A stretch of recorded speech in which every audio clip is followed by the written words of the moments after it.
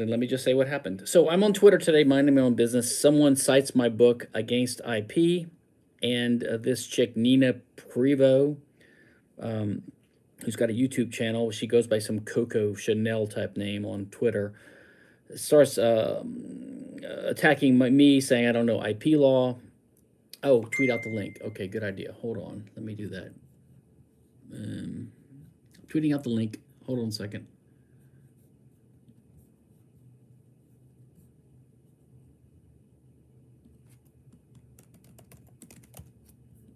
All right, I just tweeted it.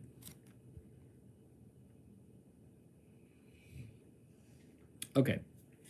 I guess you can just, guys just text your any questions and I'll try to answer them. Um, so, and then she said he won't debate me because he never debates. Of course, so she hasn't done anything. She hasn't read anything cause, about my stuff because she'd know that um, she'd know that I debate all the time. And uh, so she says she's read my stuff, but I think she's just lying. And um, so then she accused me of being mean because I answered her bluntly after she started with this these uh, scurrilous attacks. And uh, I, I, I re-listened. I had heard before her her her little inane comments on the other YouTube video. I'll post a link early, uh, later. Um, arguing for IP. She's just doing the same old thing that lawyers do. She's saying, "Oh, the law does this, the law does that." And she's she's using emotion. Oh, I feel I feel that it's stealing if you copy someone's stuff. You know, she repeats the same old crap like, um, oh, if you put time and effort into something, then you should have a right to stop people from copying it. You know, that's just the Marxist labor theory of value argument. You know, uh, this idea that you have some kind of right to a profit if you spend effort, which of course is nonsense because value is subjective. So I don't know what to say. Um, I'm always willing to debate people, and I would have been polite with her if she had just been polite. Um,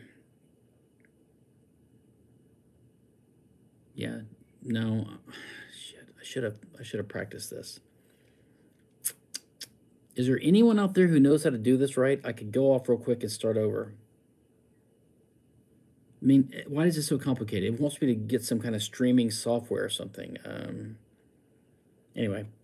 Why don't you guys ask any questions if you have? I mean, all my arguments for IP are well known and out there already. So I don't know if I should repeat them here. I would have grilled her on what her arguments for IP, but she didn't want to do it.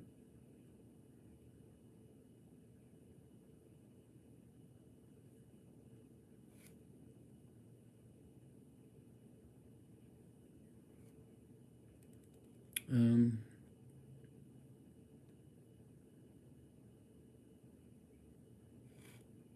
Anyone? No, she didn't show up. And plus, I don't know how to add anyone anyway, so I guess I screwed it up. Well, I don't think she came in. Okay, you say there's no good arguments for IP. What's the best argument that you've come across? Um,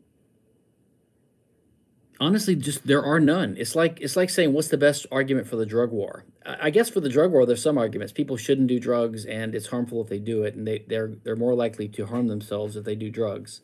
It's not a good argument. It's not a libertarian argument, but it's coherent. Um, I suppose the best argument is if you create something, you own it. But that's a mistake because creation is not a source of rights, as I explained many times. And then there's other arguments that we're better off with IP law. But even that's not a good argument because you could never know that. And number two, that's not the purpose of law to make us better off, right? Just by going in and tweaking and intervening in the free market to fix market failures. So there really are no good arguments for IP. Um, every one of them I've heard is completely dishonest or, or, or flawed based upon extremely flawed flawed premises.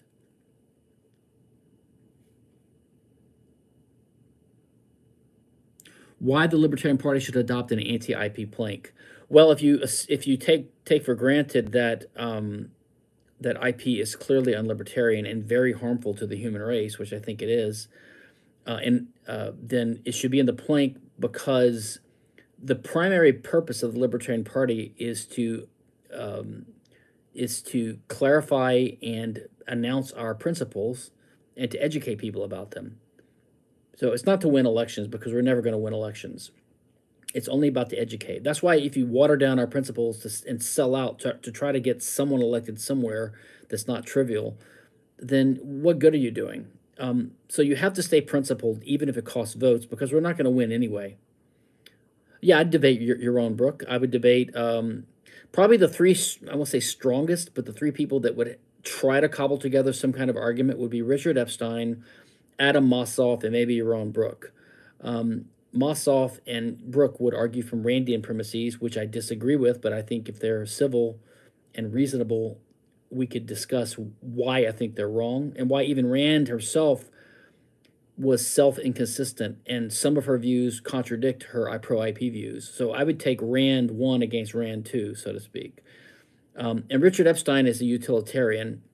That'd be slightly harder to argue against because his entire political philosophy is Chicago utilitarian based, and he'll never change his mind on that.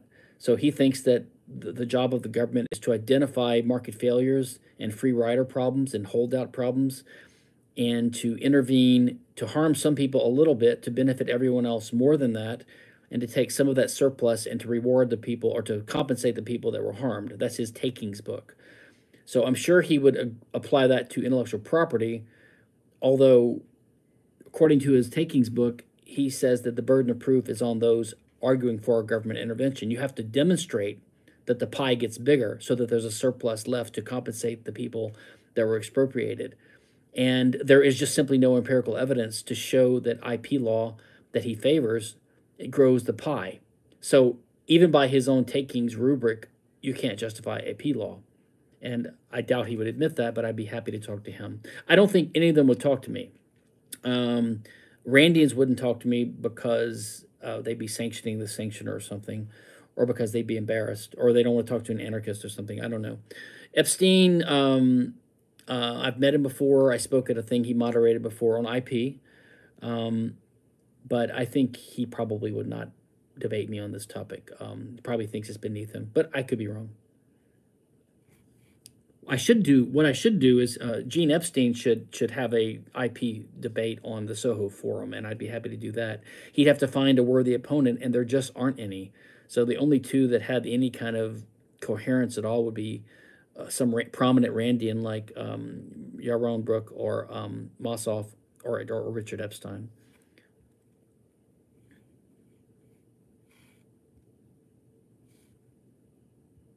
Okay. Any more chats? Let's see here. I might have missed some. Try to see. The, all right. The most plausible defense I've heard is that it incentivizes innovation. Uh, why do these chats go away? Innovation for otherwise expensive research projects. Um, yeah, so that's the, the pharmaceutical argument. And so a lot of people that are skeptical about IP, they'll say, well, the strongest case for IP is in pharmaceuticals. I actually think it's the opposite. I think the the strongest case for IP abolition is pharmaceuticals because pharmaceuticals are life saving and important to life, and anything that impedes innovation um, is bad, especially in important fields. So I would say pharmaceuticals are the strongest case to abolish patents. Um, the argument that there's a lot of research cost is just not an argument because every entrepreneur faces costs and the cost of competition, and they have to take that into account in their business plan. Um, and one reason the cost that pharmaceutical companies face is so high is because of FDA regulations and taxes and other government regulations. Um, so that would be the main way to solve that problem.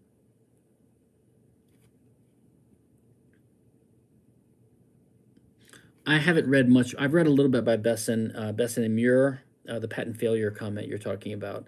Um, if I recall, I, I, don't remember. I don't think there's that much principled and solid in their stuff. Uh, wait, I could be wrong. I think I have a, a blog post. Uh, Bessen and Muir Duke. They are they are pretty strongly anti-patent. I'm sorry, that's right. I don't know. If, I think they have a more utilitarian case, but I think they are pretty strongly against it. And they, I think they conclude that there is no solid empirical evidence that patents do what the proponents claim that it does. Um, I'd say the strongest case from the utilitarian side is from um, Boldrin and Levine, and they're against intellectual monopoly. But even those those cases are always flawed because um, well, number one, that even they, as strong as they are against patents, they say that well, maybe instead of having patents, the government should just subsidize basic scientific research or something like that. So they all see that there's a market failure. They just want to solve it in a different way with more government intervention. Um, I think they're also for trademarks, which I, I think they're wrong about. Um, and some of their arguments, I think their conclusions are right, but some of their arguments are flawed because, for example, um, um, like they argue that Italy and Switzerland had no patents on pharmaceuticals for a good 30, 40, 50 year period in the late 1800s, 1900s. And they were among the powerhouses of pharmaceutical production.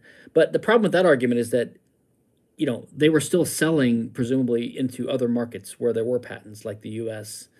So they could still, I guess, benefit from the patent system, giving them a monopoly price to subsidize their cost.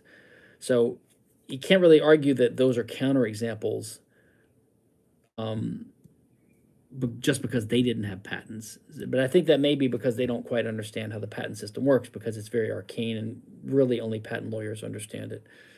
So there's a few mistakes like that, um, which, by the way, none of the IP proponents have pointed out because they don't even understand IP.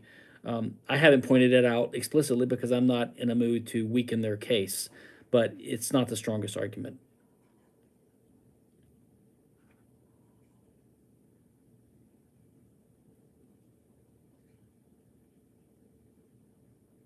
Oh, dull geek. Are you saying that Bessen and Muir? Let me see if I can find their quote. Say that patents are not are good for pharma, but not for software. Um, let's see. On c4sif.org on my against IP page, I have a post about the empirical case against patent and copyright. Let me see what Bessen and Muir say here. No, they say that on average, the patent system discourages innovation. It seems unlikely that patents today are an effective policy instrument to encourage innovation overall, and that patents place a drag on innovation. On innovation, um, there's clear empirical evidence that the patent system is broken. So I don't know. Maybe they make an exception elsewhere in their in their paper um, or in their writing about for pharmaceuticals. But in the, the quotes I found from them, um, they're pretty strong about the patent system not having there's no empirical evidence to show that it's it does what it claims to do. But the the basic argument is that the libertarian rebuttal to all this anyway is that the purpose of the state and law or the purpose of law is not to make sure there's an optimal amount of innovation in society.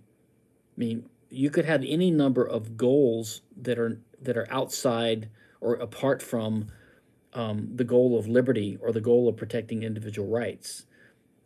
Um, like as Robert Nozick explains in his book, the, the essence of libertarianism is the belief in rights.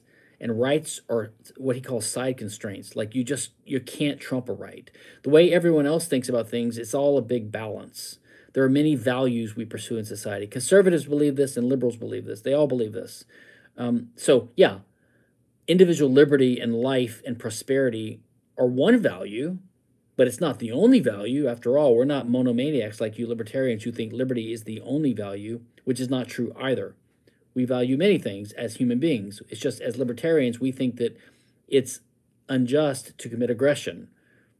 Okay, so what they're what they're what they're anyone who favors considering other values in their balancing formula for laws that we can have, other than liberty, what they're saying is I'm against I'm against aggression usually, but not always. So basically, they're saying they're sometimes in favor of aggression because other values justify it. But that's just the same old argument for murder or tyranny or genocide or the drug war.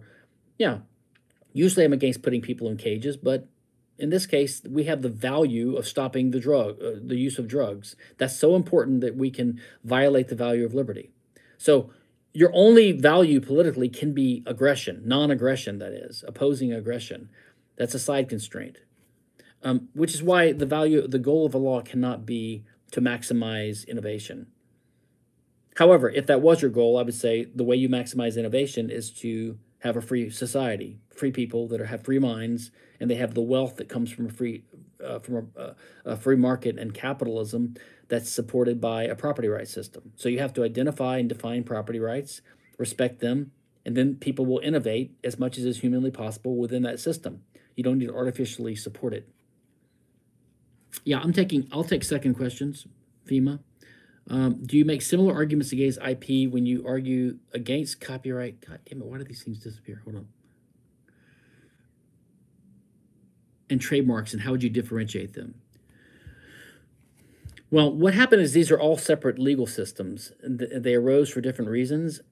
And when some of them came under attack by free market economists in the 1800s, um, the the the pro IP interests that had been dependent upon them started defending them, and they said they're not monopoly privileges; they're they're intellectual property rights. So they came up with this term intellectual property, and they group under it all these different types of of um, of rights like trademark, patent, copyright, trade secrets, because they all have to do with the creations of the mind is, is the reasoning, but they work in different ways.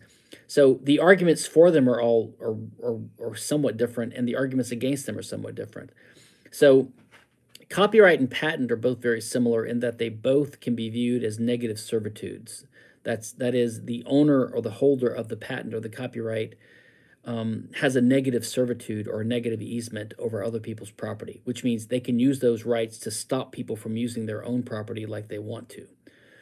And the, the reason that's unjust is because the negative servitude was not granted consensually by the owner of the, what's called the burdened estate. If you grant it by contract, it's fine. That's what restrictive covenants are in neighborhood associations uh, like when you're not prevent, permitted to uh, use your home for commercial purposes because all your neighbors have this negative servitude or this veto right because you gave it to them and they gave you one for their house.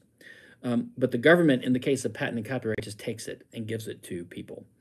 Um, so it's just a taking of your property. Trademark is a little bit different. It's it's more similar to defamation law. It basically tries to establish a reputation right. Um, everyone thinks that trademark is about pr- protecting the consumer from fraud, but it's not because it doesn't require a showing of fraud. It only requires a showing of likelihood of consumer confusion. And consumer confusion is not the same as fraud, and a likelihood of it is not a showing that it's happening anyway. And furthermore, the trademark system gives the right to sue to the trademark holder, not to the defrauded consumer.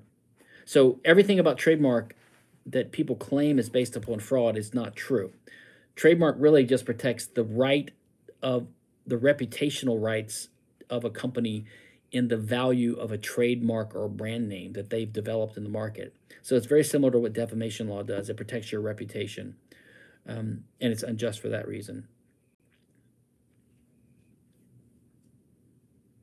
The best argument, oh, argumentation ethics question. Oh, someone says, why does Against IP have a copyright from the Mises Institute? Um, well, the short answer is it's a mistake. Um, it doesn't have a copyright. It just has a notice, which is mistaken. Uh, they put it on there without my permission. They didn't understand. Um, and uh, it's just false. They don't have a copyright. I have the copyright because I wrote it and I've released it in the public domain. So that was just a mistake. I, am not really blaming them because this was early on before I started ringing the alarm bells loudly about all this. But um, um, copyright law, like all types of statutory law, is very arcane and people just don't understand it. Um, so people think that you can put a copyright on something because you have permission to publish it. That's not true. You have to own the copyright to do that. Um, and the only way you own it is if someone signs a writing, a written assignment, which I never did. So it's just a mistake.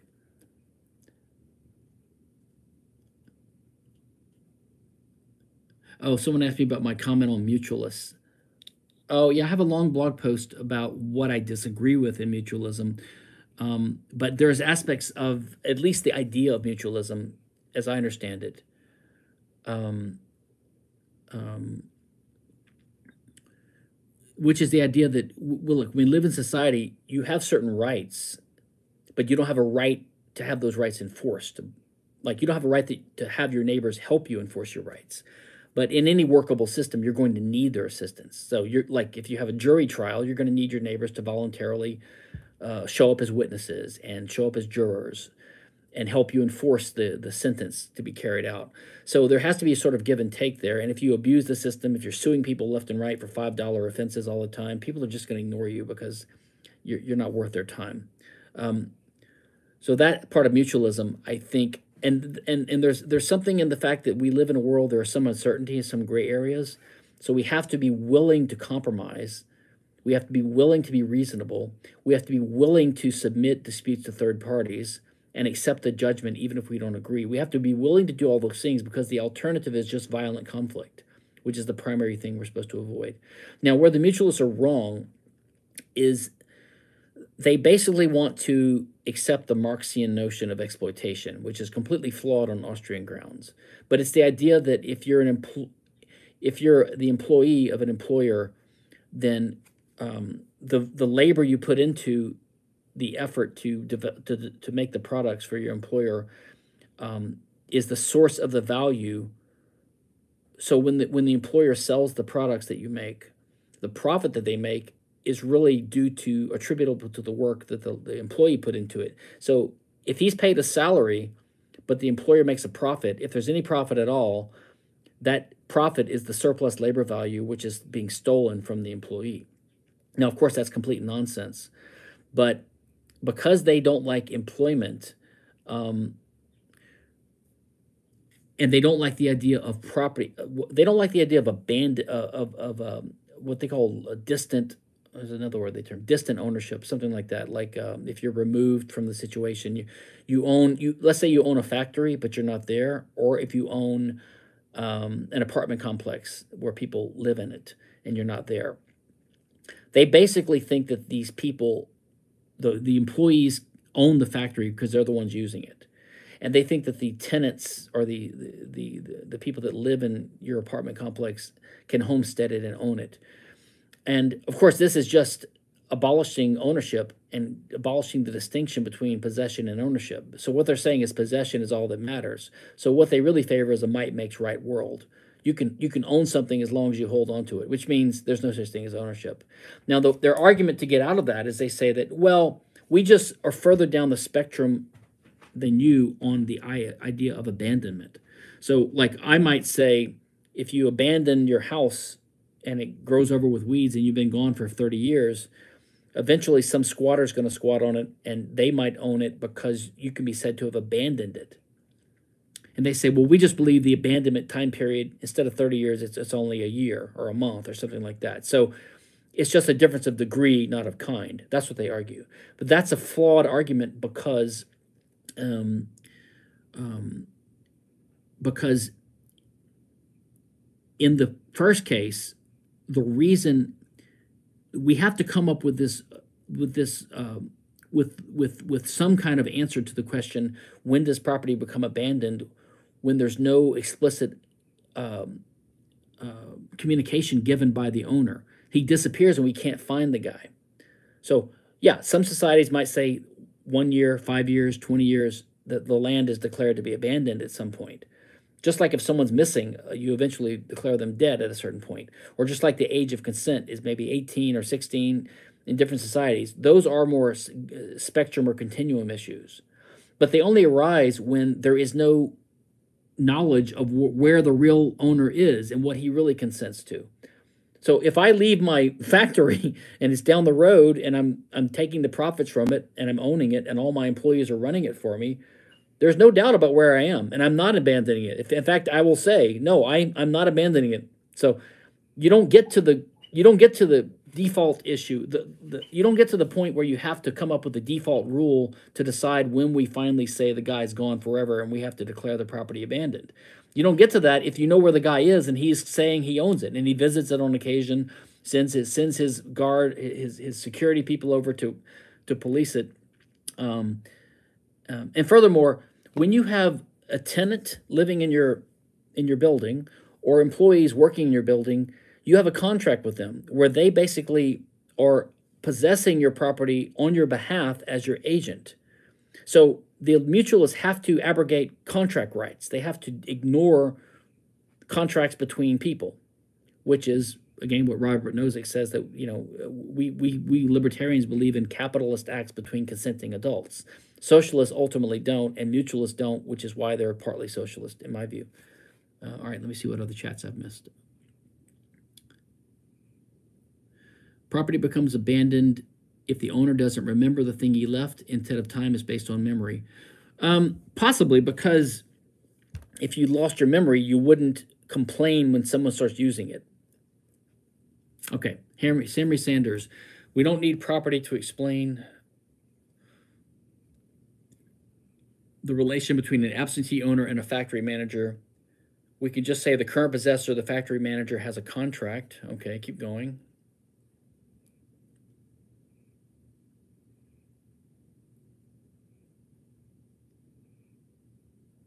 I don't understand if you're agreeing or disagreeing with me, uh, Harry, so you can feel free to elaborate if you want. Um, I'm just simply explaining why I just I have a long blog post about this on my on my stephankinsella.com. Benjamin, do you attribute any value to economics or, or any other kind of utilitarian argumentation when making the case for libertarianism? Um, it's funny how this is turning into a general. Yeah, I think first of all, knowledge of economics is essential, and especially Austrian economics. Uh, just like knowledge of logic and having a, having a language. There's lots of disciplines that have to, and you have to know history as well. Um,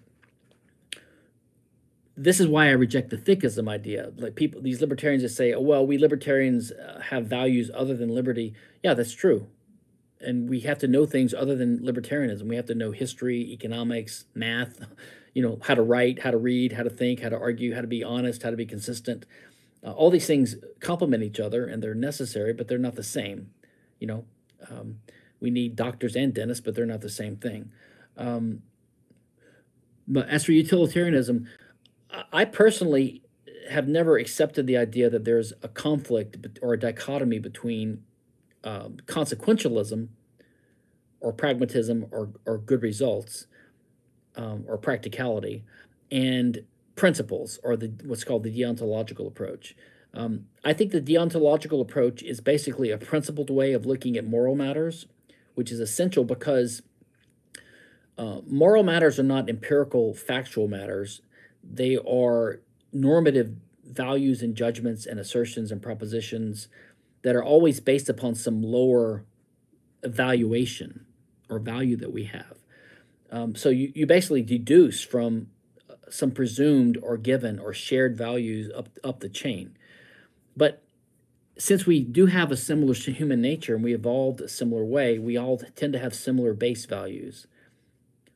And so it's not no surprise that these tend to be practical, right? So honesty is practical, but it's also a principled uh, ethical value. Um, so I think consequentialism and um, the principled case for liberty they complement and support each other. I don't th- even Ayn Rand said this. She said the the practical the moral is the practical. There's not a conflict between them. You don't have to choose between one or the other. Now, utilitarianism, I, I think, it depends on how you use the word. Um, and if you mean it in this uh, economic sense that you can measure value or utility in a cardinal way, I, I think that's wrong.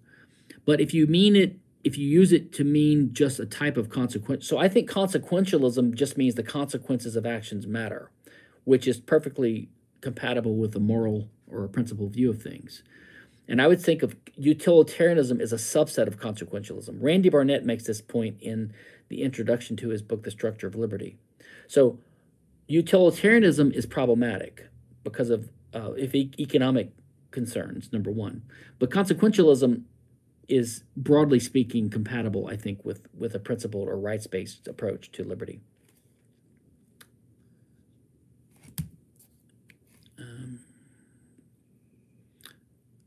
LSU question. uh, I think what's preferable is what happened is we had the best season imaginable, and it was worth paying the price that we're going to suck for a while because we probably would have sucked for for a while anyway. But at least we had that amazing year, and I went to the game by the way, and Trump was there. It was cool. Um, did I get into IP law because of my stance? Um, neither one. It's kind of a coincidence. I um, I was always uh, curious about the IP argument in law school and in undergrad because it didn't make sense to me. It was one of these libertarian issues that I was having trouble with figuring out. But when I started practicing law and I finally went into patent and IP law for just for career reasons, um, I turned my attention more to it because I thought I had some extra uh, ability to understand it because now I understood the law.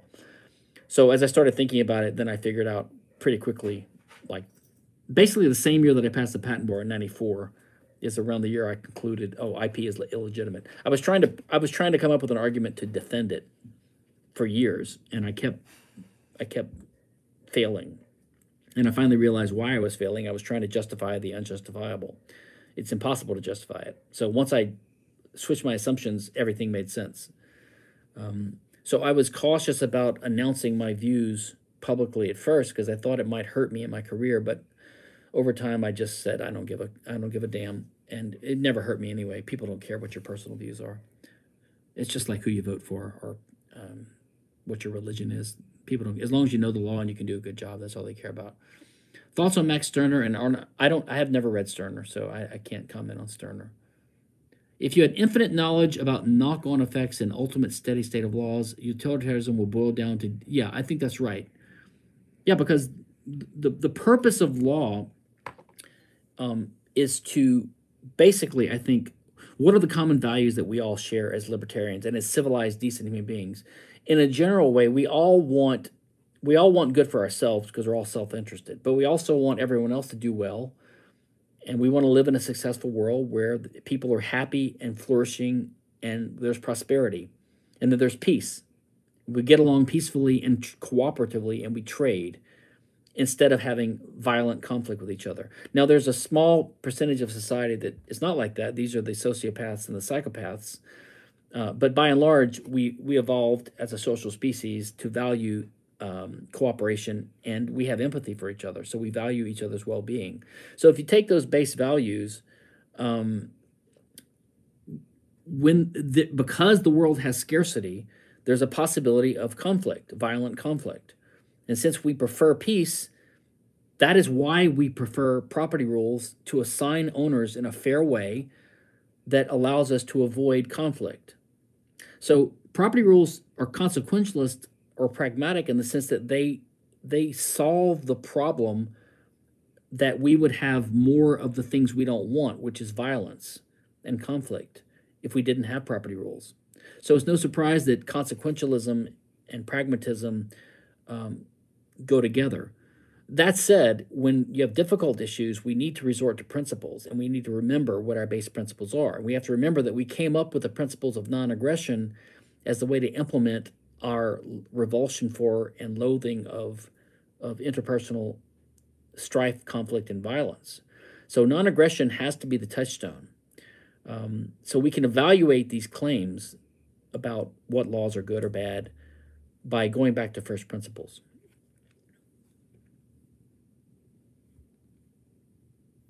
Someone says I can set up a live stream with oh shit, I could have done Zoom too. I have I have Zoom. I'm going to do that. Hold on a second. I'm going to do Zoom. And then I'll just put the link in here. I don't know what I was thinking because that woman wanted to be live streamed. That's the problem. I didn't want it to be live streamed. All right, hold on. Zoom. Hold on. Let's just take a second, guys. Then everyone can talk.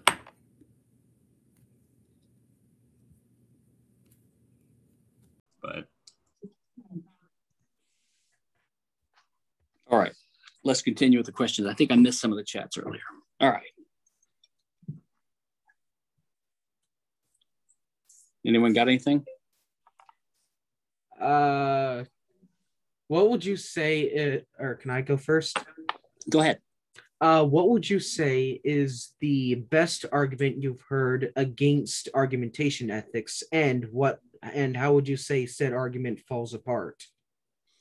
Oh no, I so unlike IP, I think there are good arguments against argumentation ethics. I understand why some people don't agree with it. Um, um, so one of them is that you can it can be taken too far. And Frank Van Dun actually does this, and some of his defenses of, of argumentation ethics, like 90% of which I agree with and I like, but he he goes too far. Like he even says, like, uh, you know, if you if you're arguing with someone and like say, let's say their son works for you, and you threaten to fire his son from your job from his job if he if the guy doesn't agree with you that that's not a legitimate argumentation tactic and therefore you can't be fired from your job for a bad reason so so so like you see you could you can go too far with it i think and that's uh, that yeah. sounds more like uh i don't know why but like that doesn't really uh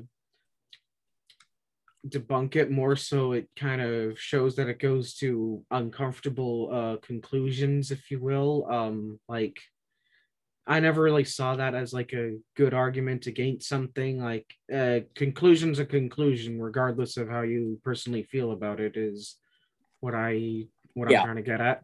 I agree. It doesn't i don't agree with it but um uh I'm, and i guess another one would be maybe the strongest one is the idea that um, the ethics of argumentation only apply during argument, but not outside of argument. I think that's wrong too, but I understand that argument. So that what they say is any ethics that apply to things you do while you're arguing uh, don't apply once the argument's over. That one is confused and wrong, I think, but I understand why people make that argument. Also i i think you would be interested in this. Um it's less a question and more um are so i was reading the other day about of this article is it or a pdf file? Um it's this it's a uh, page called um a defense of rothbardian ethics via a mediation of Han, of hoppe and rand basically taking uh Ayn Rand's um, objectivist, teleological, um, ethical, egoist ethics and sort of merging it with Hans Hoppe's argumentation ethics. It's by a guy named Cade Share. Um, you should check that out. It's actually yeah, very, yeah, very I, fascinating. I, I don't recall it if I don't, but it sounds interesting. Yeah. By the way, did anyone here listen to that? Uh, this woman Nina's uh, meandering thing about about IP? You mean her tweets, or did she come out and like say something? No, she had a YouTube video a few months ago, which I posted a link earlier. I don't, I didn't know if anyone had. I just posted it at the last minute, so I don't know if anyone had a chance to um, look at it. I didn't know. So she has so many different alt identities on Twitter. I didn't know that she had posted one. Um, but I've been in dis- trying to have a discussion with her about IP for I don't know, a couple of weeks now. And I didn't realize that I was having the same discussion with three different, I thought I was having the same discussion with three different people, all ended, ended up being the same person. Um, and so like I, I, I have never gotten to the point where she's actually made an argument. I will go look up that YouTube video though. Mostly she um, just calls you a hack. Well, I, I don't understand. I mean, I just don't believe she's read my stuff because she she doesn't uh, engage with it. Um, so I, you know, I don't care if she thinks I'm a hack, but I mean, what's what's her argument? You know, her argument is yeah, that exactly. I I feel exactly. that it's theft. I feel that it's theft. I feel that it's wrong. That's that's exactly. I I find uh, I have not gotten any actual substance substantive argument out of her at all. Yeah well, you know, I, she's irrelevant, but um, I, I, guess it, you know, maybe some of you guys will tell, we'll do it again if she'd be on. I, I'm happy to, I just hate debate formats because you speak for three minutes and they speak for three minutes and all this kind of stuff. It's ridiculous. Um, um, I ask a question, then they respond. I mean, it's better to have a give and take, a back and forth. Um, I think. Well, I'm just trying to understand the arguments. Like I read your book and I found it convincing, and I'm trying to understand the arguments against it. It seems pretty straightforward to me and it makes sense. And so when somebody came up and said, Hey, this is completely wrong, like I want to know why. I want to know why it's wrong. Yeah.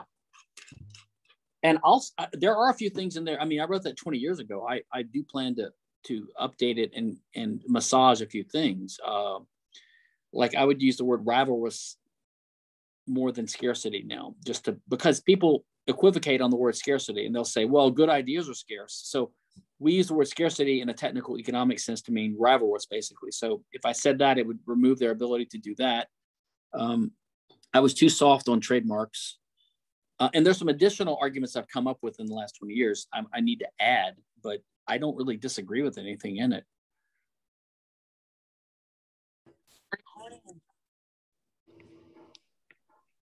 Anyone? Hey, what are, yeah, what are your Oh, that was a kid. Uh, what are your thoughts on uh, the animal rights issue? Because uh, I saw the Walter Block and some other guy uh, debate, and I and I thought like Walter Block's argument were really uh, not that good. I'm more of a Randian on this. I, I don't believe animals have rights, um, primarily because animals can't respect our rights. So there can't be sort of an there's sort of an agreement or again the mutualist thing. There's a there's an there's an agreement here where we acknowledge each other's potential to harm each other and to use our resources but we all agree on a certain set of property rules um, so that we can avoid conflict with each other and cooperate and trade with each other. And i think that just requires a certain amount of of ability to communicate and rationality and animals just don't have that doesn't mean it's it's it's not immoral to torture or even to kill animals as an ethical matter. But I think I think rights Should arise from from, if you can be on, if you don't feel too sick. Not Yeah, now. but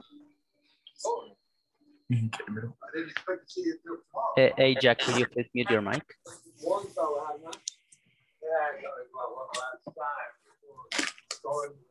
Someone needs to mute. Yeah, it's Jack. I think you You can can. kill him. Yeah. Physical remove him. There. I just muted Jack. Okay. Sorry, go ahead. um, but could you name the trait? Like what's true for animals that if true for humans, it could be right, it would be right to kill humans. Like if you say intelligence, uh, a person less intelligent than me, I could kill them. If you say, if you say it's natural, if it were natural to eat humans, it would be okay. That that's name the trait. Well, I mean, I think if an animal kills a human, it's not wrong and it's not murder. Um, the whole purpose of rights is that we can agree to respect each other's rights and you know discuss things rationally. Now, if you're saying, does that logic mean that certain people can be killed because they're, I don't know, they're they're they're retarded or they're infants or they're old and in a coma? Um, I guess you could argue that, but it's an. i think those are edge cases. I mean, there's a book that influenced me early on by Loren Lomasky, which many people haven't read. It's called Persons' Rights in the Moral Community. Now, he's not an anarchist, but he's a good libertarian, and he's got this argument. He calls it piggybacking, where it's almost like a contractualist view that in society we have rights because we're all rational beings, and for the people that are marginal, we attribute rights to them because they're almost human or they were human or they're on the stage of becoming human they sort of they get the benefit of the doubt so to speak. Um, i think that's probably the most reasonable way to approach it. I mean i don't know what else you can do. You could i guess you could ask god to give us a commandment and tell us. But uh, if we're figuring out things with reason and rationality and these are the rules that we reasonable rational people that communicate and interact with each other have come up with it doesn't automatically easily apply to people that are helpless. Um, so we have to come up with some civilized rule to, to treat with them. Yeah, but I don't see why those rules could apply to animals. Like it's that human that could that couldn't could never uh, argument or logically think or whatever like an animal, and you know he he can't. And you say he's a human, but yeah, but how do you define how do you define human? Like it's her genes. Well, he might do a he could do a a gen test, and he's not a human. Like Well, I, I wouldn't of- say range. I, I wouldn't say only humans have rights. I would just say we're, humans are the only animals we know of that have rationality. So any any any animal that had um, what we call sapient, right, would have rights. Um, So if the dolphins evolved into intelligence or an alien species landed, we would all have rights with respect to each other because we could communicate and agree to cooperate with each other. Um, but I guess the question for you would be why restrict it to animals? Uh, I mean, why would only animals have rights? What about what about planets or rocks or molecules, right? Or, or plants? Why animals? Yeah, sure. Because they they could uh, they are sentient. They are sentient. Okay, so sentience, but and really, I think that argument comes down to the pain argument. Like they can feel pain, and it's wrong to inflict pain, something like that. What about insects? Uh, there's no evidence for the insects being sentient, so I am agnostic on this topic. So if, if a creature is aware of its existence, in some sense, you say it's wrong to to end that. Yeah, sure. Well, I guess one problem with that argument is that what about the animals themselves out in the jungle between the animals? They're all killing each other all the time. So are they immoral? Uh, I think we should kill the, the, the predators. Sure. Well, but I mean, half, Based. but the world is, I mean, half the animal kingdom is predators. And if you kill them, then you would ruin the whole ecosystem. I mean, Why? Wait, wait, wait, wait. Are you utilitarian? no, no, I just think, I just think that, uh, so your goal would be a, a world of docile, peaceful, vegetarian creatures that there's no, there's no, there's no predators, there's only prey, or there's only, only peaceful animals. Uh, yeah, sure. That's kind of my goal. I think Um, it's in a, in a in a hypothetical. Yeah, sure. Within the know. animal kingdom, there's a lot of quote unquote friendly and there uh, who the animals that aren't actually friendly. I, I've been to a I've been to a zoo when I was younger. I, I know that for I know that from personal experience that a lot of these um was it herbivores that eat plants only? Uh Yeah. herbivores, omnivores, carnivores. Yeah, herbivores. Uh, a lot of herb- herbivores are just as violent, if not more violent, than a lot of omnivores and carnivores. Yeah, we sh- we should apply this same to humans. Like if you violate others' rights, then you could violate his rights. I, I, I remember there was a there was a, a Q, Q&A session with Leonard Peikoff one time years ago, and someone asked this animal rights thing. And by the way, Ayn Rand's lawyer, Henry Mark Holzer, who was kind of libertarian, he he came out in favor of animal rights himself later. Um, but uh, he wrote a great book called Sweet Land of Liberty about the Constitution, but he's also an animal rights kind of guy. But um, someone asked Peikoff about animals' rights, and and something about the mosquitoes came up and he said well the mosquitoes can have rights when they petition for them in other words if someone asks you to respect their rights i guess you should respect it but animals don't ask us to respect their rights I I don't I do not believe in animal rights, although I would say I sort of accept them accept them as kind of like a rule of thumb, if you, if you know what I mean. You get what I'm trying to Yeah, say? you say a, a positive right. Yeah, Well, you could say that. I, I am sympathetic to the argument that if we come up with um, synthetic meat which i think we will eventually that at that point there will be very very little moral excuse for killing animals for food.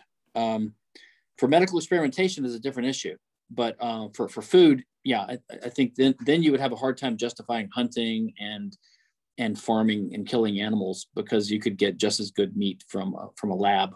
Well, I mean, that's uh, that's like saying uh, there's going to be a point in which we don't need to steal from the rich to give to the poor. So therefore, in that case, it will it will it only be immoral? Like Well, morality that- should be like always. Well, uh, yeah, I'm not, but I don't think animals have rights. If it was a rights thing, it would be, yeah, we can't do it at all. But I'm talking about the the morality. You could say that there are different factors. Like if it's survival, um, you're not violating the rights because they don't have rights. But if we need animal food to live, which I guess you could argue we don't because some people are vegetarians. Um, Oh, and it's even healthier to be a vegan or vegetarian than a carnivore. This is I this is not what that's they, this is not what. I'm hearing from the from the Bitcoiners. That they, they think that red meat only is the only thing you should eat. So I don't know. Who knows? I don't know what to believe. Show the evidence. ask ask them to to to prove it. They claim to have it, but I, I don't know. I, it's not my bag. I, don't- it's not Yeah, my and I could say and I could say I'm God and I had the proofs of it, but I don't I don't show I don't show it to you. I would argue God is already on this meeting. I, I, I'm kind of curious about the animal thing. If like if if some like elk say were to were to damage another deer, how would you give restitution to the deer? Pardon, could you repeat it, please? Yeah, sure. So how would you give restitution to like a, a victimized animal? If a if a predator were to say, or even not even a predator, but something were to hurt it in some regard that isn't killing it. Uh, how do you how would you do it to humans? How Well, I mean- would you do it to humans? Monetarily i mean whatever that that human were to want right or whatever you know when some kind of arbitration process between that human and the person that hurt them Yeah, okay. but That's an kind of animal problem. can't think or Yeah. reason Yeah, that's kind of problem. But if if we have, we have a person that can't think and uh, cause any problem to another human, how a human how how could you resolve that? You mean if an animal hurt a human No, no, no. A human who can't think because he's retarded or whatever. ah i see what you're saying yeah that, that that's a little bit more of a border case yeah i don't know Yeah, I, I would say that the, if, if there's a human that's so incapacitated he harms people, he's not really responsible because it's not really an action; it's just behavior, right? Now you can use force to defend yourself from that and and stop it, but you don't treat them as a responsible agent if they're not doing it consciously. Just like animals, we don't regard animals as evil for trying to hurt us. But we, Hey, uh, Stephan, have you Yeah. ever uh, considered it in the context of like your essay, How We Come to Own Ourselves? And that you can only one person can possess their own body and you can't be in possession of another person's body. Um, how does that work for animals? Because how can you possess or own animals? Because only the animal can be in direct control of their own body, right? Doesn't that sort of make sense that argument Yeah, so that so one problem I had with like Rothbard's the way he argued against voluntary slavery contracts is he says that um, your will is inalienable, and so a contract is null and void because your will is inalienable. But the problem is Rothbard believes, and so do I, that sometimes you can use force against another person, like in self-defense. But in that case, the person you're using force against has free will. He still has his will but what you're doing is you're overriding his will with force so the, the fact of the fact that you're the direct controller of your body doesn't mean that you always own it it means you're the presumptive owner when there's a question about who owns it um, but you can lose that right right by committing an act of aggression so it's just the answer to the question when rational people get together and they they want they have the question who has the best connection to that body the, the default answer is the person who controls it. But the question doesn't arise for animals because they're not part of argumentation. They can't, they're not petitioning for their rights. I mean, look, this is this is the, the libertarian view, which is about rights of, of, of, of sapient creatures, which is humans, the only ones. Um, if you believe in animal rights, then the whole thing is is different. And I just I just don't.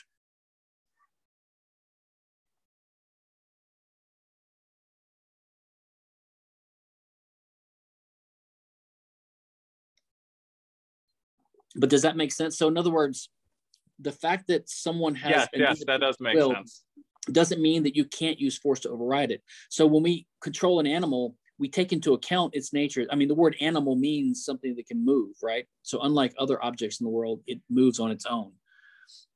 That's the nature of it. In fact, you know, the ownership of cows, they we know they're going to roam around, so we own them by branding them so that there's a sign placed on them.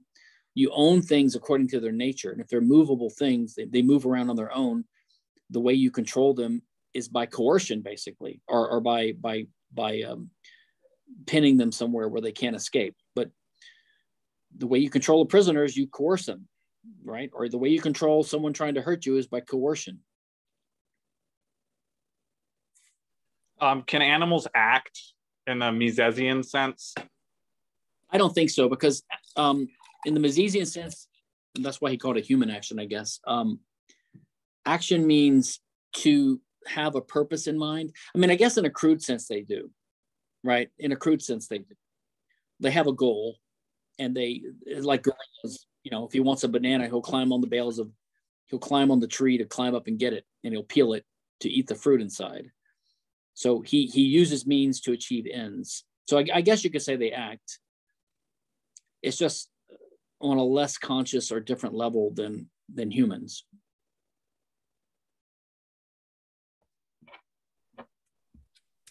Uh, Stephan, can I tell can I uh, tell you about something that kind of uh, I I don't know what words to use pissed me off or sort of like baffled me, but um, basically I was in a Discord argument with a socialist, and we were uh, discussing morality and you're aware of sort of like the um, common refutation that uh, we give we give to the sort of idea of uh, what's it called again that well we humans can't own each other because well we would have to get permission from 7 billion people to do that all that stuff and it would be literally impossible to do that thus rendering it a non a not moral system.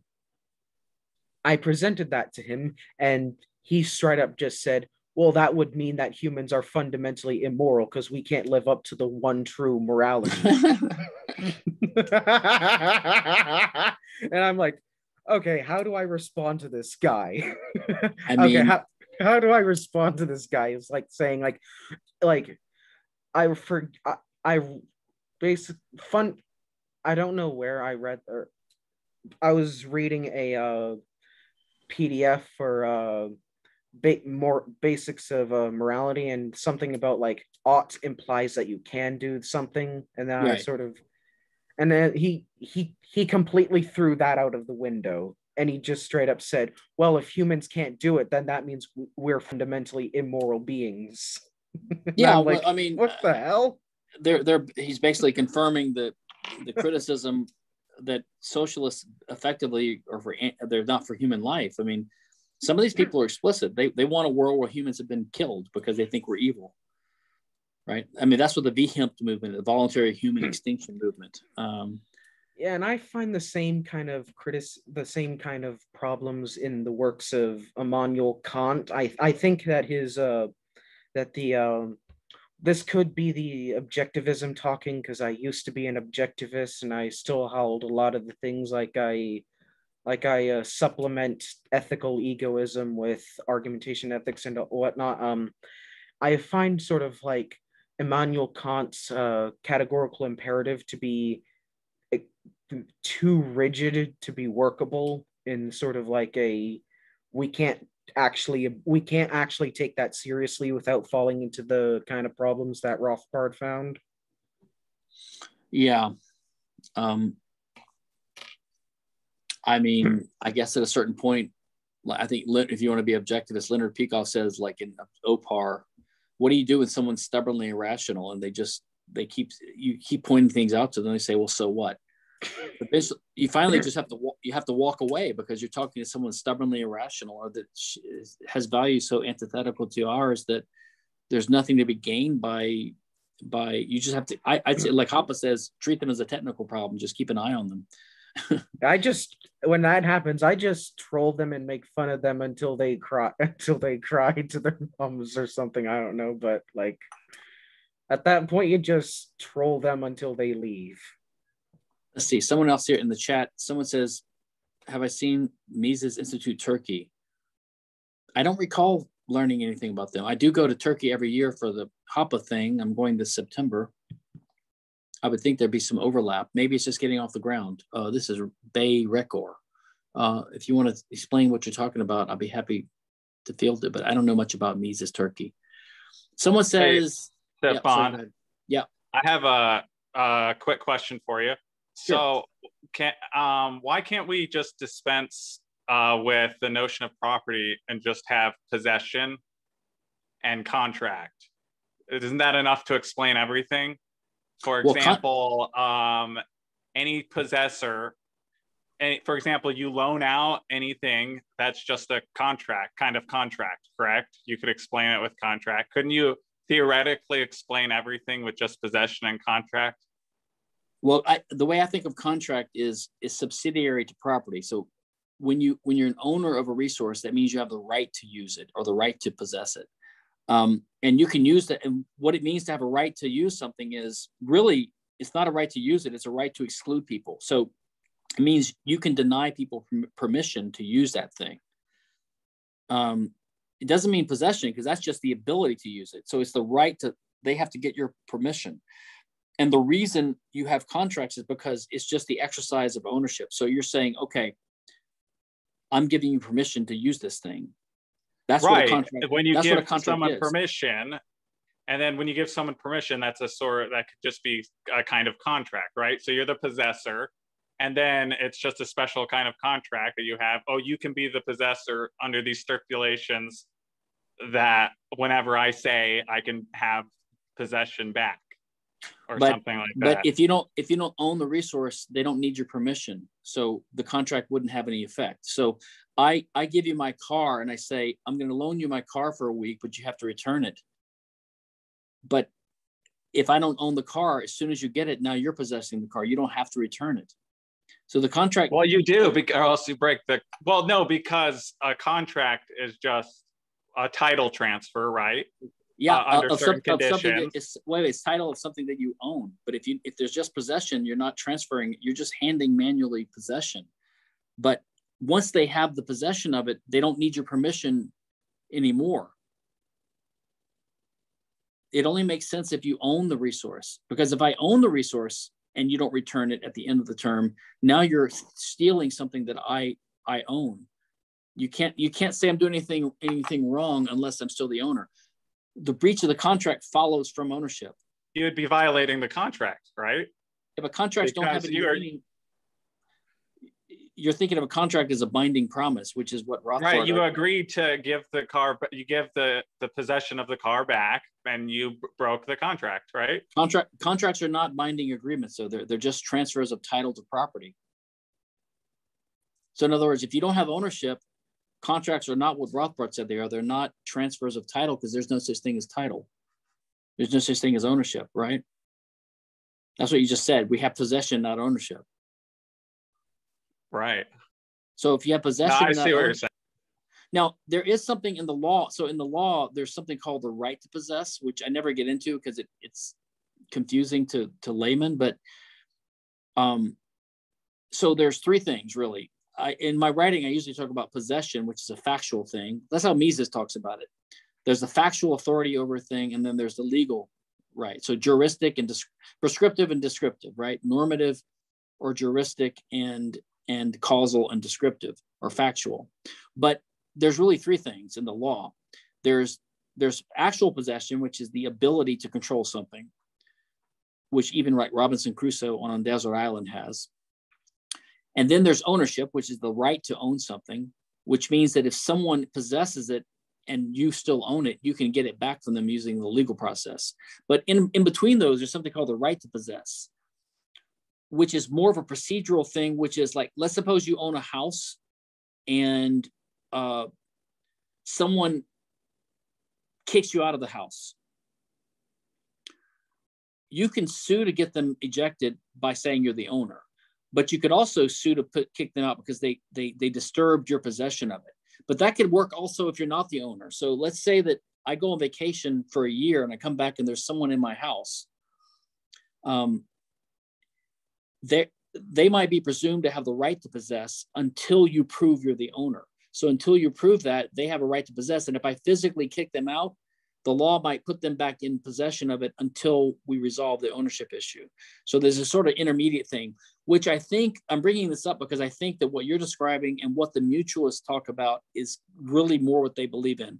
It's not quite fair to say they don't believe in property rights at all. They just think that the, the statute of this, the statute of limitations or the abandonment period is so the threshold is so low that it's a it's almost like it's might makes right and there's only possession but it's really more akin to the right to possess in the law but that's a kind of i don't know i never thought i think um yeah the uh, owners the owner left the factory but the factory's not abandoned right It's I not mean, that's sort of like a misnomer. It's not. It's never. There's always there's people there working. that, that's If why they said just that- agreed. They just have an agreement with the owner that, That- they that's are. why I said so. The, the mutuals have to disregard freedom of contract, which means that effectively what you're doing is you're, you're telling someone you can use my property under this condition, under the condition that um, any any rights that you would homestead from it if it was declared abandoned or something like that come to me. You could it's the same thing for like let's suppose you have a, a, a company and there's un, there's unowned wilderness out there and instead of you going out there and homesteading a farm you pay someone to go do it for you. You pay your agent. So he goes out there and he homesteads a farm i think the mutuals would have to say he owns it because he did it whereas the rothbardian would say the employer owns it because he has a contract with the guy where the guy agrees to automatically and instantaneously transfer to the employer any property that he homesteads as soon as it happens. So it, that happens by contract.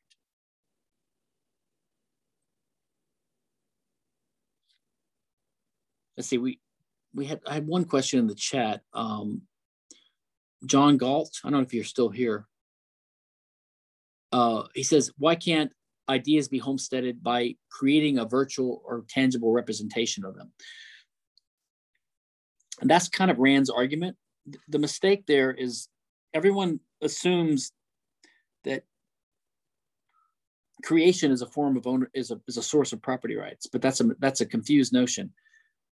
The, only sources of property rights are original appropriation and contract. That's it. So because you can't create things out of we don't really make things. Even Ayn Rand said this, we don't create things out of nothing. We rearrange things with our intellect. But when you rearrange something, you have to have possession of it. And if you want to own it, you have to own the things that go into it.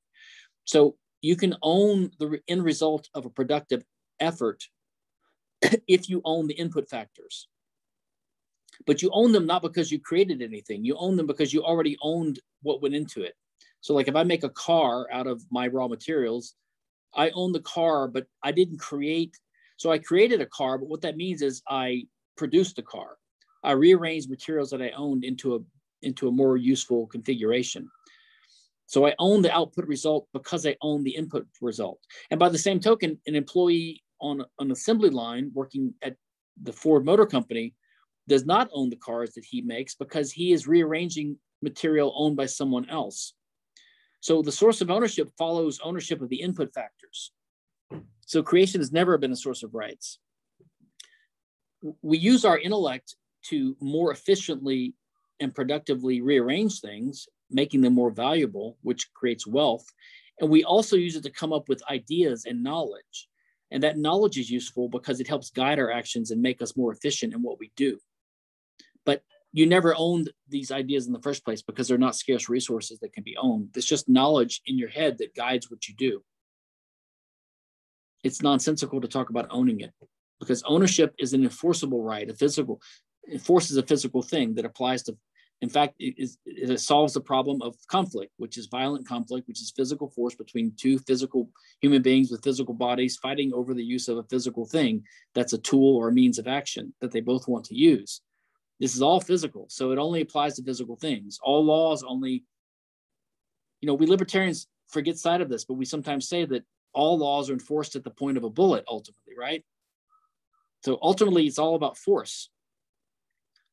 So force can only apply to physical things. Physical things are always what force applies to.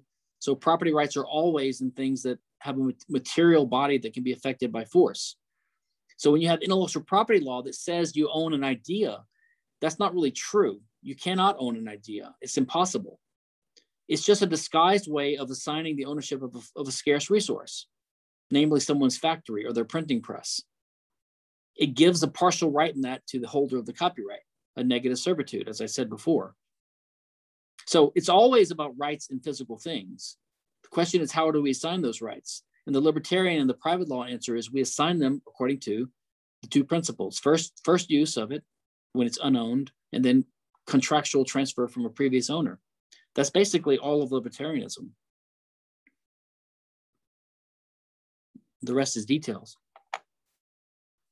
What are your thoughts on the uh, kind of indigenous people uh, question here? Oh, it sounds that sounds Nazi, but I mean, like uh, in Chile, there's a debate uh, over whether uh, we should give back or the state should give back uh, land to the Mapuche who lived in the south, and like uh, I of course disregard the, the the argument that it should be given to like the community or Mapuche society, but if someone can prove that he or his uh, ancestors uh, owned a certain piece of land, even if it's in the middle of a city, do you think they they should be given that land?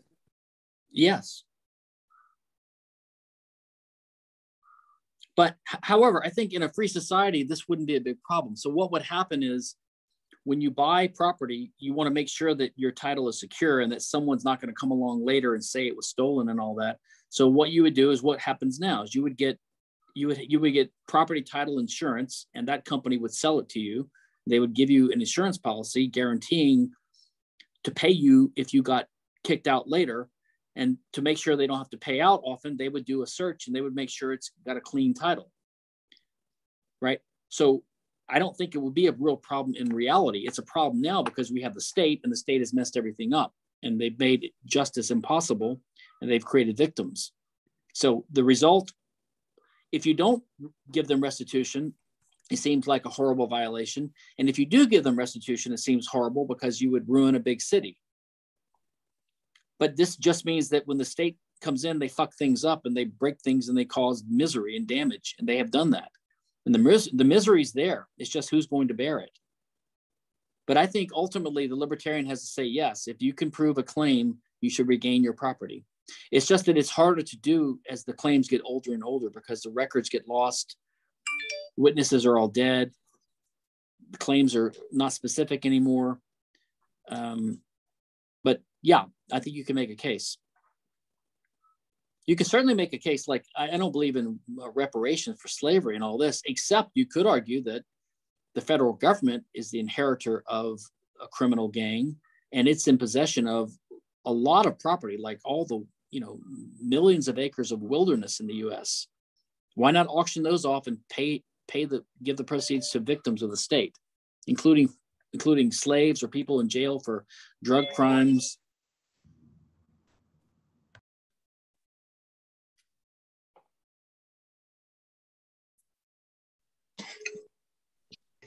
Uh, on the question of the, the reparations, I was thinking, uh, of course, there's going to be a time when it's just too hard to find out who the actual, let's say, real owner is. But uh, in a way, it gets me thinking if uh, uh, if we're deriving morality for our condition as humans, is there a point in which we have to say that uh, whenever it is humanly impossible to determine the actual owner or of the, the actual uh, person with a title, uh, the actual right itself has changed. And the actual right depends on our human capacity to, to determine who, who has it. Like if someone used to own it, so an indigenous people, and 300 years later, it is simply impossible to determine whether he had it or not. Does that mean that it's not his right anymore? Or is it yeah. or, or or the right is there we just are always going to be ignoring it yeah i mean i don't think of rights as metaphysical things that exist in some platonic realm like that. Um, it's a practical solution to a problem. Um, and there are epistemic epistemic issues to um, to the if, if something is totally unprovable then what can be done? Because any any any realistic system of justice you have to appeal to the community and ask for their for their support on your claim. But if you can't prove it, you know, all this means is that crime is possible and injustice is possible.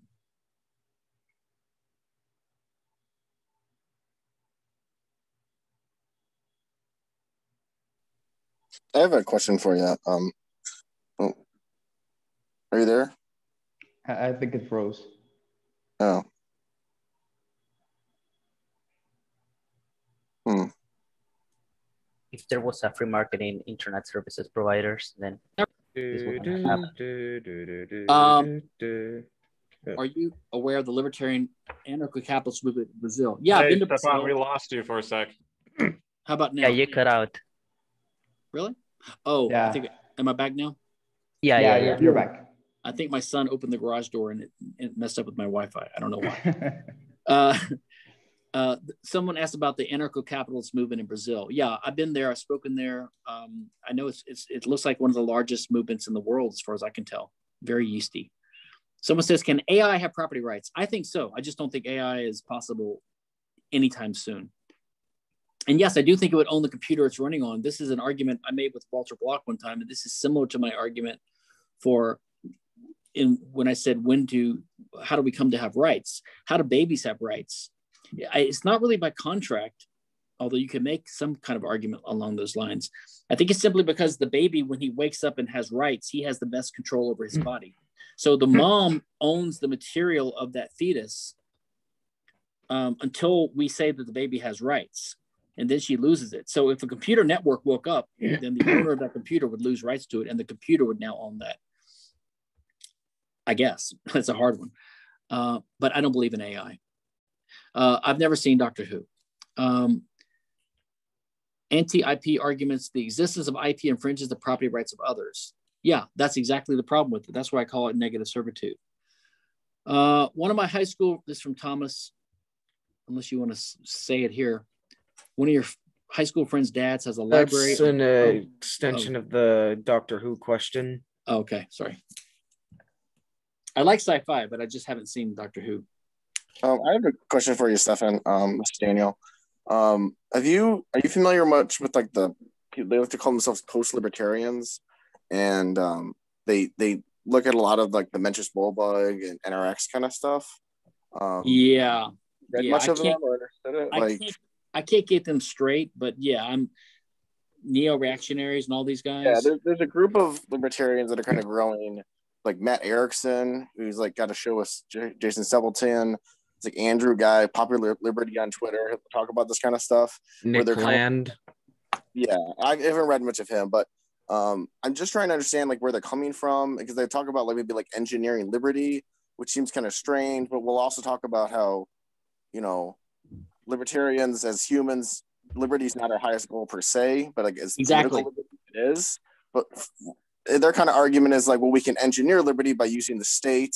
They seem very authoritarian but um and they're also talking about the leftists a lot and they'll be like the left will like destroy everything we must like stop the left because they'll destroy our order and stuff which is a little hoppian sort of um a lot of i think Yeah, a lot of them sort Moldbug of was took to, highly like, the- influenced by Hans Hoppe, even though he may have, at at least in my opinion, misinterpreted some of the stuff that Hoppe wrote.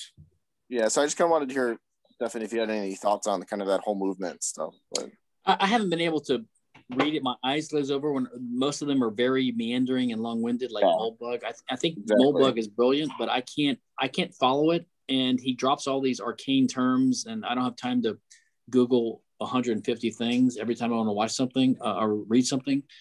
Um, they don't ar- they argue in this linear fashion instead of like systematically. Yeah I think ultimately they make the mistake that I mentioned before that liberals and conservatives do. They they, they say that liberty is of value, but it's just one of many values.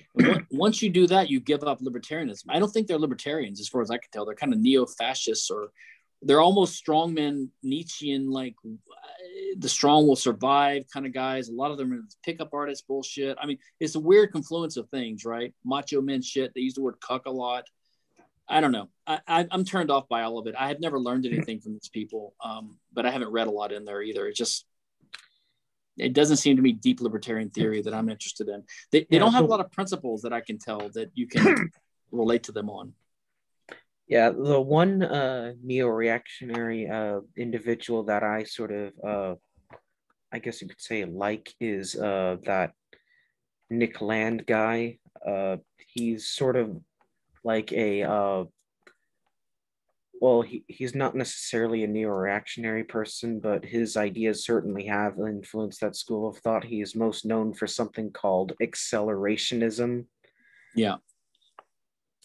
Yeah. Oh, is that is that like the worse is better idea? Like we need to go ahead and Uh, no, it's a lot more complicated than that. He ta- Nick Land talks a lot about feedback loops and stuff, and I think a lot of it stretches back to a lot of stuff he was doing in the '90s. He was he used to be a uh, I don't know if he still is, but he used to be a philosophy professor at this uh, university or something down in the states. But basically, he uh, used to be kind of like a lefty Marxist person. But yeah, he had a lot of bizarre ideas, which I think is due in part to the the fact that he was doing he was doing a lot of drugs back in the 90s like a lot of psychedelics. And he talked he talked a lot about uh, how capitalism is no and i'm not joking when i say this that capitalism is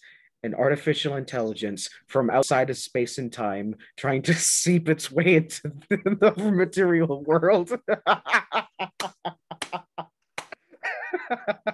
uh, but since he's come off the drugs, he uh, in the mid 2000s he read Moldbug, then made a sharp turn straight to the right, and I have no idea what he's doing right now, but he's following me on Twitter for some reason. Um, I guess, yeah, I, I have a few friends that have gone from libertarianism to more this kind of neo feudalist, uh, neo monarchist and feudalist stuff or monarchist stuff.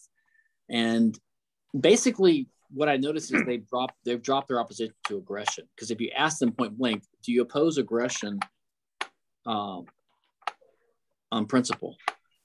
They'll they'll deflect or evade or change the subject or or they'll say no. Like sometimes you they'll say, oh, or they'll, do that dishonest thing where they'll say, well, you need to use you need to use aggression to stop criminals, which of course is not aggression, right? So they try to equivocate, but they're not against aggression ultimately. They, they because peace is not their only value, right? Maybe having the white a white continent is their value. I don't. But I'm I'm lumping these guys together because I don't really follow them that closely. Yeah, back Mystic to and Nick Stella. Land could be best said to be uh, some kind of ANCAP if I'm reading him correctly. I think he's an ANCAP. Well, I I just know. I just kind of wonder how much of Hoppe is is his fault. I don't know if it's his fault at all, but like I guess you can take any reader and kind of take them to it because they'll talk about low time preference and high time preference, and like you know we'll talk about that a lot. But like they'll be like you know you're not taking this far enough. That's just this one guy Andrew Popular Liberty who was talking to me about it. He was like I'm just taking Hoppe's economics to its logical conclusion, and you know but then he's like yeah Stephan you're right like they don't really care about you know using state aggression or whatever. They're just like, well, it's kind of necessary, you know. Yeah, I think that I, I always get this Nietzschean impulse from these guys um, in a kind of scary way. But um, um, I don't like. I also don't.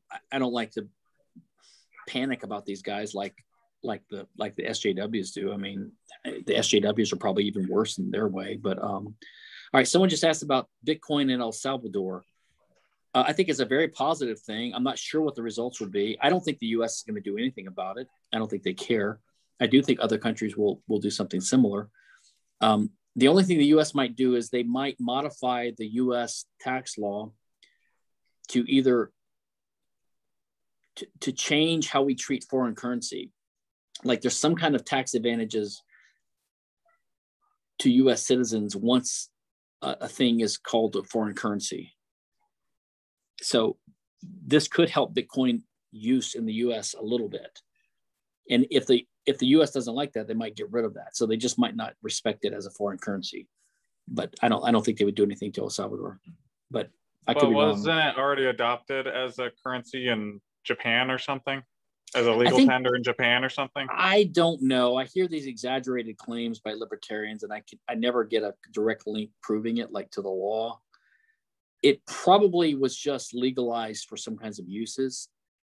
Um, I don't see why El Salvador would be getting all this PR of the first country to adopt it if Japan had already done it. So I don't know, but I don't think it was done as legal tender. And I'm not even sure if El Salvador's law made it legal tender. That's what how people are describing it. Um, El Salvador doesn't really have they they don't have money. They have they use the U.S. dollar. So I don't know. Some people some people are saying that isn't that a little bit counterproductive because then you're man the state is mandating the acceptance of Bitcoin. Right. Whereas we don't want the state to mandate anything, right? Well, that's what legal tender law does. I, I'm just simply saying that if they declare it legal tender there, it could help Americans uh, using it here. Um, yeah, I'm against legal tender law, of course. Um, but that's why I'm skeptical that it really is. Like, I'm skeptical that if you owe someone a debt in El Salvador, let's say you some some some 80 year old shopkeeper, you owe him a thousand dollars, and you give him Bitcoin, and he doesn't know what the hell it is. Do you have to? Can he be forced to accept that? I find it difficult to believe that the legal system in El Salvador is going to force everyone to accept Bitcoin in payment for debts. But I, I heard, guess I heard um, that they can immediately convert it. I have dollars. one more follow up with that. I just um, do you think it's a good uh, like uh, competing currencies along with the dollar? Do you think that's a good stepping stone, or do you would you think that's counterproductive? Because what I could see like if you were to make other things legal tender, for example, um, gold um, as legal tender or silver as legal tender or something alongside the dollar just to compete with the dollar. So therefore, the dollar doesn't have monopoly. Well, I think that anything that the U.S. government could do to remove the tax capital gains tax status of Bitcoin or gold would be good. And if declaring it legal tender would achieve that, that's good. Um, although, again, I don't like people being forced to accept something in payment for a debt if the contract specifies some other means of payment. But the net the net result of such a law would be great. And I don't think the U.S. government would ever do it because they want to tax these. I've also, but in the okay. Constitution, doesn't it say only gold is legal tender? So how? Mm. Why is it? I guess what was the? uh How did we get to the paper money thing if the Constitution doesn't it specifically say that only gold is legal tender? I, I could be wrong, but I don't think so. I think it says that um, I think it gives Congress the power to make to to to coin money. So that means that they can out they can preempt state laws on it. And it could be one one national money, and I think it could be whatever they want. So, and and the courts interpret these grants of power very broadly. So just the power to coin money has morphed into the power to make it paper money. Mr. Kinsella. Yeah. Are you familiar with agorism? Yeah. So there is a discussion in Brazil that agorism is not compatible with libertarianism. What do you think? Uh, to the extent I can understand it, and I actually I was listening today to a, a podcast by uh, Victor Koman, who was a science fiction writer who was friends with um, uh, Sam Konkin, who was the kind of father of agorism, and he's putting his papers together. I had a meaning to read more into his book about that. As far as I can tell, it's sort of a tactic or a strategy. It's saying we should have counter counter uh, counter market activity or something. So we should kind of deal with ourselves to build up a free market. I don't see, I've never heard anything about agorism that sounds unlibertarian. I don't think it calls for violation of rights or not respecting property rights. To, to me, it's just a way people, they, they think you should live and the way you should build up counter economics to fight the state power structures. Whether it's a good tactic, I don't know. I, I don't know.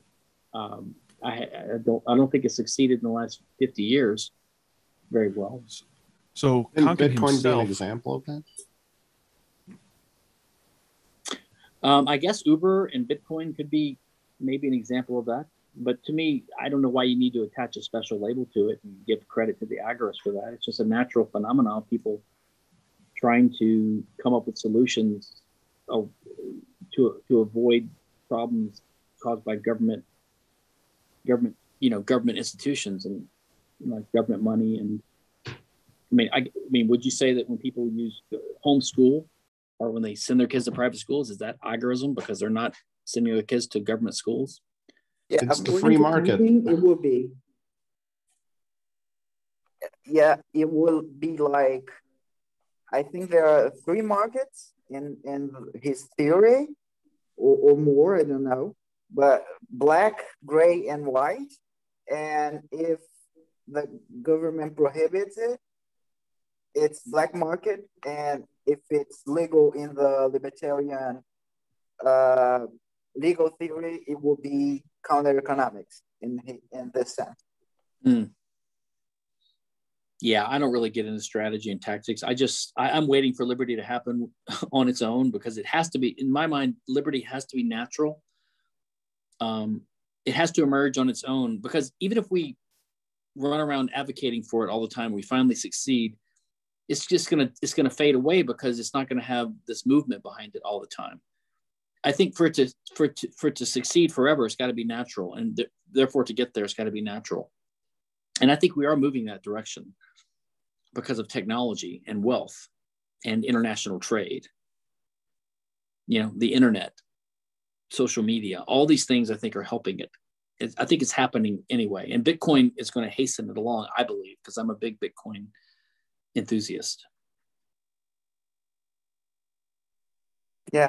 So Konkin said that like Bitcoin will be a extremely egoistic means of, of money. Like he would say gold in, in his time because Bitcoin wasn't a thing and the in, internet wasn't a thing.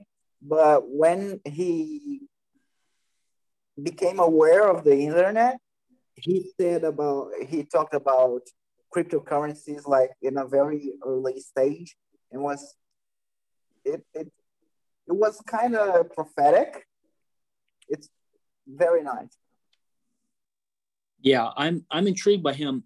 And what's interesting about Konkin was, in a way, he was the very first guy in the modern libertarian movement to start getting intellectual property right. Um, really, I think was Wendy McElroy, to be honest. But I think she and him were doing things. He wrote an early article called "Copy Wrongs," if I remember the title right. It wasn't comprehensive and it didn't give all the arguments, but it was very good and in the right direction. And then Wendy McElroy brought it a whole level further. I think she ushered in the modern anti-IP movement in the libertarian movement, uh, building upon the earlier work of Benjamin Tucker, which was which was good, but it was mired in some of these lefty anti-monopoly, anti-property ideas. Um, so Konkin was really good on that too. And the interesting thing, he was really good friends with with J. Neil Schulman, who was a who was a good buddy of mine. He died two years ago. And he was, of course, a hyper pro IP guy because he was a novelist, I guess, um, and influenced by Rand. So it's interesting how these early California libertarians um, were there at the beginning of, of, of, the flowering of a lot of these ideas. Is there a book with J. Neil Schulman and Wendy McElroy and you, right? Well, yeah, he called it Origitent. Uh, it was really um, I think he he took one of his essays and then Wendy's response to it and got me to write the introduction. but it's like a little it's really like three short three articles mixed together, I think. I want to read his book. It's like it's the moon's a harsh mistress, not his. What's no, his book, book uh, alongside night. Yeah, yeah, I want to read that.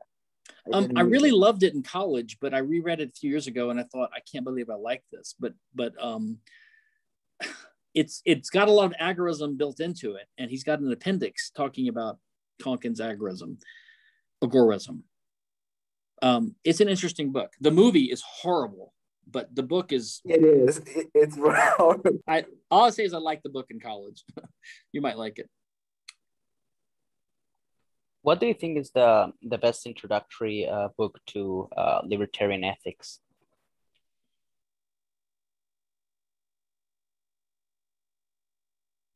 That's difficult because I used to say it was for a new liberty, but I, I reread that recently and it's it didn't hold together nearly as good as I, Rothbard's favorite book for me now is The Ethics of Liberty. Um, but Introduction to Libertarian Ethics I'd have to think about that. Um, I mean, Bastiat's the law in a way, right?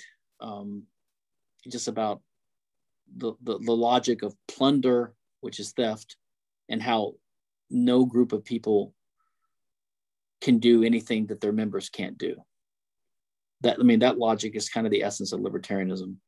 Um, I could I have some lists of books. I have to think about it and, and let you know. It depends upon your your level. Like if you want an introduction, actually, J- Jacob Huebert's book "Libertarianism Today" is pretty good. I won't say it's advanced, but it's it's really good. It's a really good overview of the modern libertarian movement, but from a solid kind of Rothbardian Austrian point of view. Libertarianism Today. It looks kind of Ron Pauly from the cover, but it's it's it's more than that. It's it's pretty good.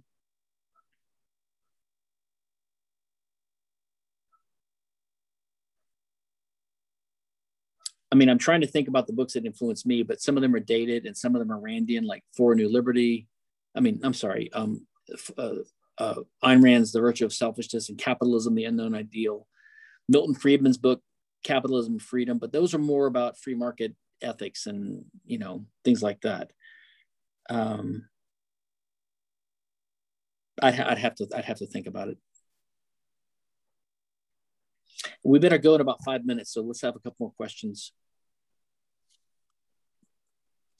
Anyone? Uh, don't you accept don't don't you accept any level of utility by uh, your moral system? Do I accept any level of utility, like utilitarianism? Yeah. Uh, we kind of talked about this already. I think that um, consequentialism is, in other words, looking at the consequences of, of policies and laws is fine. And in fact, if you think about it,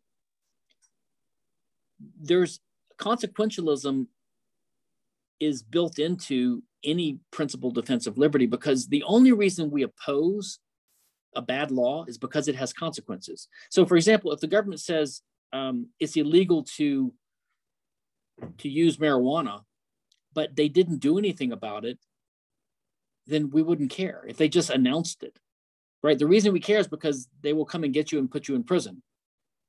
So it's consequences that we care about, really. Um, utilitarianism usually implies that we can have a policy, we should adopt laws and policies in order to maximize overall utility. But that presupposes that utility is cardinal has a value, a, a, number attached to it, and also that it's intersubjectively comparable. In other words, you can compare utility across people. So, for example, if we were to tax Bill Gates or billionaires and take half of their wealth and give it to the poor, some utilitarians argue that makes the world better off on the average because the, the rich don't value their, their, their billions as much as the poor do because the poor are so poor. So they're actually trying to put numbers on these things or some kind of quantity or magnitude. But of course, that's totally illegitimate. Um, and then the other problem with ethical problem with utilitarianism is you would have to say that if we had a technique to remove per, one person's eye and give it to a blind person, you would have to do that because the, the person who is has his eye removed can still see he's hurt, but not hurt that much. But the blind person goes from no sight to some sight. So he's benefited to a great extent. So ethical utilitarianism would lead to all kinds of horrendous consequences. I mean, ultimately, we have to have principles because, so for example, I would say that even if you take Bill Gates's money and give it to someone poor and they value that more, it's still wrong because it took Bill Gates's property. So you ultimately have to backstop everything with principles. So consequentialism is fine within moderation, but utilitarianism is problematic. And I would view utilitarianism as a problematic subset of consequentialism. Hey, yeah, uh, Stephan. Sorry. Um, going back to the books, did you mention uh, Leland Yeager's Ethics as a Social Science or Hazlitt's Foundation of Morality? Do you are you a fan of those ones or? Not Leland Yeager really too much. Um, although I haven't read that book too much. Um, Hazlitt, I'm intrigued by. Um, and, and, I think it was in that book where he coined the term co-op, cooperatism as a better term for libertarianism, which I kind of like, to be honest, because it gets at the essence of what we're about. We're about a system that allows us to cooperate instead of having violent conflict. Um, I, I, intend to read. I, have been intending to read that book from beginning to end. I, I, I read through it years ago, but I want to I want to study it more. I'm intrigued by him actually. Mr. Kinsella, yeah. I don't know if you know, but Brazil is the first in the ranking of online piracy. In the view of anti-IP law, should I be yeah. proud of that? No, I have no problem with. I have no problem with. Um, I have no problem with. Like, I, I don't agree with some libertarians, like even Randy Barnett as a quasi-anarchist. These guys come up with these arguments for why there's uh, an obligation to obey the law, even if it's unjust law. I don't agree with that at all. Um, I think that if a law is unjust and if it's obviously unjust, there is no moral obligation to respect that law. There could be a prudential obligation, like it could be unwise to to to to violate laws. But I think evil laws um, can be evaded, and, and I think copyright is such a law. So I think that actually the rise of torrenting and encryption and file sharing and digital information has allowed widespread evasion of copyright law, which is a really, really, really good thing. Um, what I'm hoping for is something similar could happen to patents when 3D printing matures. Now, I, I think this may take 50 years for 3D printing to get to the point where you could print an iPhone or a car. But I don't see why that's not possible someday. But once you have 3D printers that are extremely advanced, I think you'll be able to circumvent patent law just like we can circumvent copyright law with with encryption right now. So you think like a 1700 Switzerland, but decentralized, like no IP laws and everywhere, like everywhere is a Switzerland of itself. Well, I don't, I'm not sure what you mean. Um, I, I'm, I'm an anarchist, so I, I favor decentralization and as many small city states as possible would be good. I'm not sure I see the connection to the IP issue. Um, Switzerland had no IP laws in the 1700s. I think it's Switzerland. So I was just saying that it will be every house is, is a Switzerland of itself. Well, if a country if, if a country doesn't have IP law, they're not pirating because it's not illegal then. Piracy means violating the, the copyright or patent laws of your country. Um, so, like in China and in Brazil and in Turkey and other countries, ter- piracy is more widespread. It's, piracy is widespread in the US too, of course, which just means people are evading the local copyright law. Um, but if, if a country decided not to have copyright, like let's say that um, let's say that Switzerland withdrew from the Berne Convention and they abolished their copyright law, that would be completely legal in under international law. So if they copied Hollywood blockbusters and novels and software in that country without permission, they, they would actually not be doing anything illegal because you don't you can't violate US copyright law in Switzerland. You would only violate Swiss copyright law. So that wouldn't even be piracy. But I don't see any country doing that, but they could. Countries could do that in Brazil, like it's something that I don't really understand when I search for something in English and I want to download it in, on the internet. In Brazil, when I search something in Portuguese, it's so easy. And I get so baffled that if I search something in English, I just can't find it. It's almost impossible. In Brazil, you, you search for it, you can download it. It's great. It's very good. Uh, it may it could be that you know the the big giant well-known tech companies are in the U.S. like Google, and they they comply with the strict copyright law more. Maybe it's that I don't know. Yeah, you'll see a Google searches taken down because of the DMCA Act and stuff. So that's probably why. Yeah, it's yeah, it could be one reason. All right, guys, I need to go, and thanks for putting up with my incompetence in the beginning. Next time, I'm just going to do Zoom from the beginning since I know how to make that work. Thank you. All right. Have a good night, everybody. Have a good day. Good night. Good night. Good night.